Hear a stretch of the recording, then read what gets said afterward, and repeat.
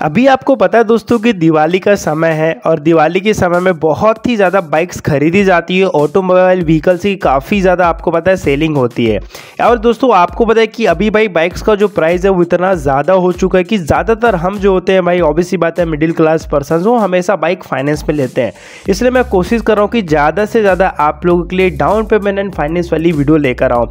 सो दोस्तों आज की शुरू में बात करने वाले के टी ड्यूक वन की डाउन पेमेंट एंड फाइनेंस के बारे में। फाइनेंस कराने के लिए कौन कौन से डॉक्यूमेंट्स की नीड होती है, सारी चीज़ें मैं आपको कंप्लीट आज की इस वीडियो में बताने वाला हूँ। उम्मीद करता हूँ दोस्तों, ये वीडियो आप लोगों के लिए बहुत ज़्यादा इंटरेस्टिंग होने वाली है।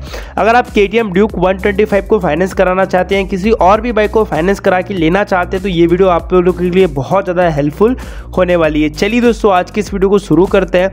बात करते हैं के ड्यूक वन के फाइनेंस के बारे में। अगर चैनल पर पहली बार आए तो सब्सक्राइब करना। बेल के आइकन को ऑन कर लीजिएगा, ताकि ऐसे ही इंटरेस्टिंग वीडियो के नोटिफिकेशन भी आप तक पहुँचते रह सके। एंड आप मेरी वीडियो से अपडेट रह सकें सो चलिए दोस्तों, आज की इस इंटरेस्टिंग वीडियो को शुरू करते हैं। बात करते हैं K T M Duke one के डाउन पेमेंट एंड फाइनेंस के बारे में। सबसे पहले दोस्तों, बात कर लेते हैं फाइनेंस डॉक्यूमेंट्स के बारे में कि अगर जब आप बाइक फाइनेंस कराते तो फाइनेंस कराने के लिए आपको कौन कौन से डॉक्यूमेंट्स की नीड पड़ती है, उसके बारे में पहले मैं आप लोगों को बताना चाहूँगा। देखिए फाइनेंस कराने के लिए सबसे पहले आपको एड्रेस प्रूफ के लिए आधार कार्ड की ज़रूरत पड़ती है। उसके बाद अगर आपका खुद का घर है तो आपको इलेक्ट्रिसिटी बिल देना पड़ेगा और अगर खुद का घर नहीं है तो फिर रेंट एग्रीमेंट देना पड़ेगा। उसके बाद दोस्तों, आपको बता दूँ, दो से तीन चेक की ज़रूरत पड़ती है, तीन चार फ़ोटोज़ की ज़रूरत पड़ती है। एंड वही अगर आपके पास आईटीआर है आईटीआर मतलब इनकम टैक्स रिटर्न अगर आप फ़ाइल करते हो तो वो अगर चीज़ होगी आपकी तो आपकी बाइक और भी जल्दी आपके नाम से फाइनेंस हो जाएगी तो वो आपके पास हो तो और अच्छी बात है। सिक्स मंथ की पासबुक की फ़ोटो कॉपी लगेगी, जो भी आपकी इनकम होती है सैलरी आती है वट एवर जहाँ से भी आप अर्न करते हैं, वो चीज़ आपको दिखानी पड़ेगी। उसके बिना बहुत मुश्किल से फाइनेंस होगी, क्योंकि ऑब्वियसली बात है, भाई कंपनी को दिखाना पड़ेगा कि हमारी अर्निंग है। और अगर आपके पास खुद का कुछ बिज़नेस है तो आप वो भाई कंपनी को बता सकते हो मतलब जो भी फाइनेंस कर रहे हो उस कंपनी को कि मैं खुद का बिज़नेस करता हूँ तो उससे भी आपकी बाइक जो है फाइनेंस हो जाती है। नॉर्मली इतनी ही डॉक्यूमेंट की ज़रूरत पड़ती है। मतलब वो ये वैसे ही डॉक्यूमेंट्स है जो कि हर किसी की ज़िंदगी में भाई यूज़ होते रहते हैं और सबके पास ये डॉक्यूमेंट्स अवेलेबल रहते हैं मेरे हिसाब से। अब चलिए वीडियो में आगे बढ़ते हैं, बात करते हैं ड्यूक 125 के फाइनेंस के बारे में। दोस्तों ड्यूक 125 का अभी जो एक्स शोरूम प्राइस है, वो है one lakh seventy eight thousand एक लाख अठहत्तर हज़ार रुपये के आसपास की है बाइक आपको। एक शोरूम प्राइस देखने को मिलती है।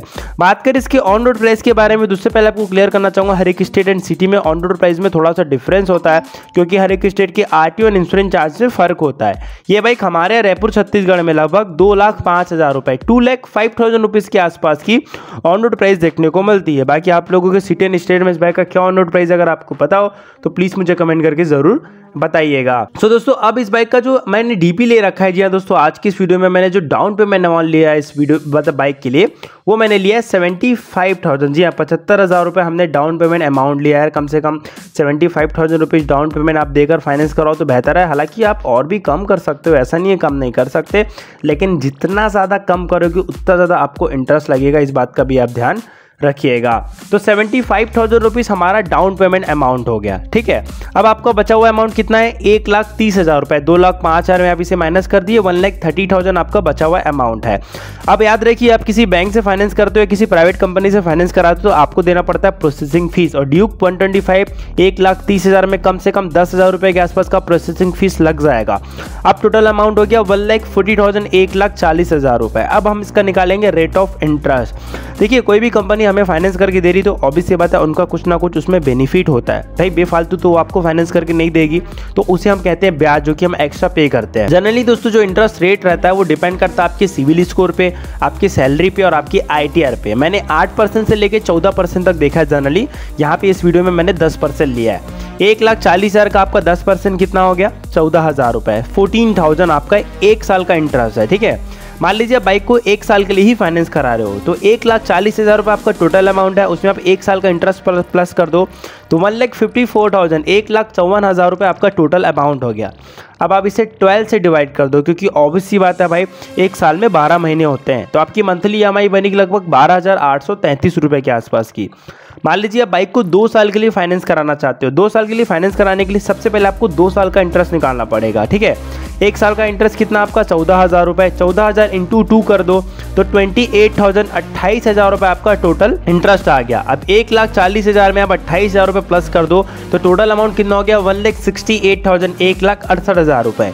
एक लाख अड़सठ हज़ार को आप ट्वेंटी फोर यानी कि चौबीस से डिवाइड कर दो, क्योंकि दो साल में चौबीस महीने होते हैं। मंथली ई बनेगी लगभग सेवन थाउज़ेंड सात हज़ार रुपये के आसपास की मंथली ई बनेगी, जो कि आपको पे करनी है कब तक? ट्वेंटी फोर मंथ तक। मान लीजिए दोस्तों, अगर आप बाइक को तीन साल के लिए फाइनेंस कराना चाहते हो, हालाँकि तीन साल के लिए फाइनेंस ना ही कराओ तो बेहतर है भाई मेरे हिसाब से। क्योंकि ऑब्वियसली बात है, तीन साल में आपको इंटरेस्ट काफ़ी ज़्यादा लग जाएगा। अगर आप तीन साल के लिए फाइनेंस करा रहे हो तो इससे पहले तीन साल का इंटरेस्ट निकाल लीजिए। एक साल का इंटरेस्ट है चौदह हज़ार रुपये यानी कि fourteen thousand fourteen thousand into three कर दो तो फोर्टी टू थाउज़ेंड बयालीस हज़ार रुपये आपका सिर्फ़ और सिर्फ़ इंटरेस्ट हो जाएगा। मतलब आप जो एक्स्ट्रा पे कर रहे हो। अब इसमें एक लाख चालीस हज़ार में इसे प्लस कर दो। टोटल अमाउंट कितना हो गया? One lakh eighty two thousand एक लाख बयासी हज़ार रुपये एक लाख बयासी हज़ार को आप थर्टी सिक्स यानी कि छत्तीस से डिवाइड कर दो, क्योंकि तीन साल में छत्तीस महीने होते हैं। आपकी मंथली एम आई बनेगी लगभग पाँच हज़ार पचपन रुपये के आसपास की। जैसे फाइव ज़ीरो डबल फाइव के आसपास की आपकी मंथली एम आई बनेगी, जो कि आपको पे करनी कब तक? छत्तीस महीनों तक। ठीक है दोस्तों तो ये था K T M Duke forty five का कंप्लीट फाइनेंस वीडियो उम्मीद करते हैं आपको छोटी सी इंटरेस्टिंग वीडियो अच्छी लगी होगी। वीडियो अच्छी लगी लाइक करना चैनल पे पहली बार तो सब्सक्राइब कर लेना। मिलता है दोस्तों, फिर नेक्स्ट वीडियो में। लव यू ऑल जय हिंद मध्य मातरम।